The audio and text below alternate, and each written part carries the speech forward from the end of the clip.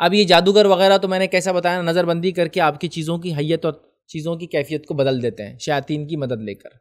इसके अलावा ये जो जो शोबदेबाज होते हैं, जो कल की होने का दावा करते हैं, कल क्या होने वाला बताने की कोशिश करते हैं तो याद रखिए, जो हो चुका है वो गायब नहीं है। तो जादूगर गायब बताने का दावा करता है, और गायब वही चीज़ होंगी जो होने वाली है, जो अब तक हुई नहीं है। तो जो हो गया तो जो जादूगर जो हो गई चीज़ें बताते हैं, वो सब तो ज़ाहिर सी बात है वाज चीज़ है। और वो कैसे बताते हैं? आपके पास मुख्तसर, वक्त ज़्यादा नहीं है, वरना इस पर मेरे बहुत तफसीली जादू के अकसाम, जिन और शयातीन की हकीकत, जादू की हकीकत, जादू की हकीकत और उसका इलाज बहुत डिटेल, लंबे लंबे, बल्कि मैं समझता हूँ मेरे लेक्चर्स का, मैं सबसे लंबा लेक्चर्स इसी टॉपिक पर है। तकरीबन दो घंटे पैंतालीस मिनट, दो घंटे चालीस मिनट, दो घंटे पचास मिनट तक के मेरे लेक्चर्स है इस पर। चार से पाँच बड़े बड़े आप देखिए उसके तफसील में, उतनी तफसील में नहीं जाऊँ लेकिन मुख्तसर से। होता यह कि हर इंसान जब पैदा होता है तो शैतान के अंदर से एक शैतान पैदा होता है। शैतान उस पैदा हुए शैतान को हमारे साथ लगा देता है, जो सारी ज़िंदगी मेरे और आपके साथ रहता है, उसको बोलते हैं कारीन, हमजाद।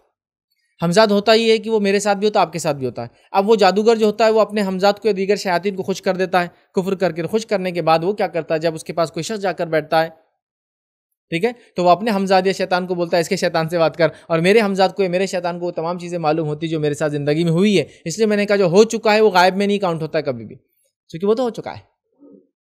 समझ रहा तो फिर वो क्या करता है? पिछली बातें बताना शुरू कर देता है।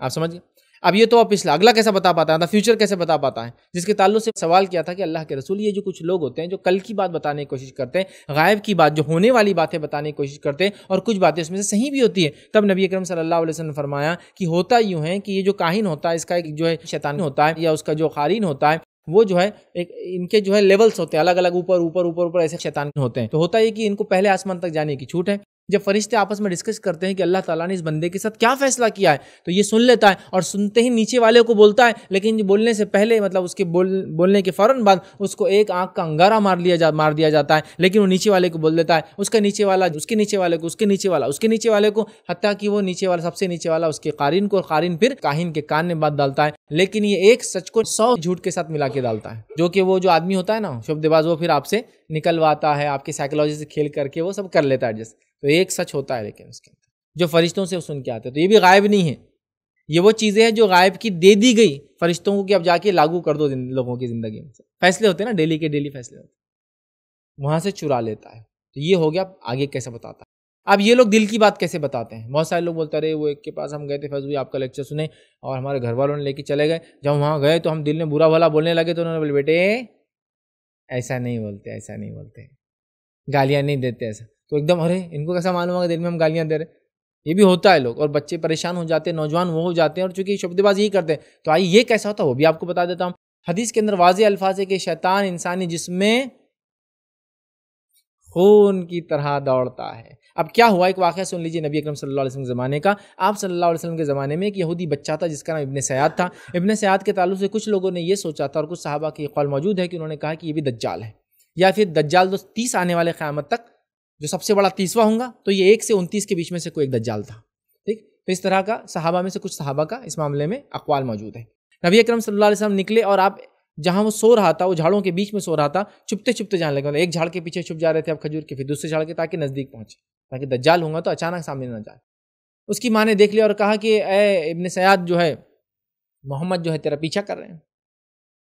फिर अल्लाह के रसूल सल्लल्लाहु अलैहि वसल्लम के पास गए और काफ़ी लंबा मकालमा है, वक्त नहीं मुझे क्या क्या उनका डिस्कशन हुआ, लेकिन उसके बाद अल्लाह के रसूल सल्लल्लाहु अलैहि वसल्लम ने आखिर में उससे एक सवाल किया, मेरे दिल में क्या है? और उसने कहा, दुख, अद्दुख। नबी अकरम सल्लल्लाहु अलैहि वसल्लम पर यह वाक़े से कुछ देर पहले सूर्य दुखान की कुछ आयतें नाजिल हुई थी। नबी अकरम सल्लल्लाहु अलैहि वसल्लम ने भी बात किसको भी नहीं बताई थी। ये बात सिर्फ़ आपके पास थी। लेकिन वो पूरी बात को वो भी नहीं बता पाया। उसने दुखान नहीं कहा, दुख, कुछ ना कुछ करीब पहुँचा उसकी। समझ रहे आप बात?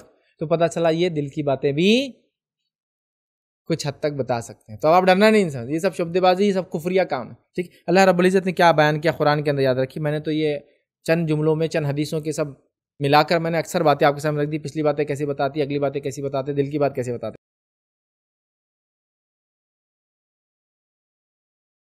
असलम आप भी हमारे इस काम में ताउन करें, अपनी ज़कात सबका के ज़रिए। डोनेशन डिटेल्स के लिए डोनेट पर क्लिक करें। अगर आपको हमारे वीडियो पसंद आए हैं तो इसे शेयर करें और सबके हकदार बने। रोज़ाना हमारे वीडियो को पाने के लिए हमारे यूट्यूब चैनल को सब्सक्राइब करें और बेल आइकन दबाएँ। हम सीधे सोशल मीडिया पर जुड़ने के लिए वीडियो में दिए गए आईडी को सर्च करें। जजाकल्लाह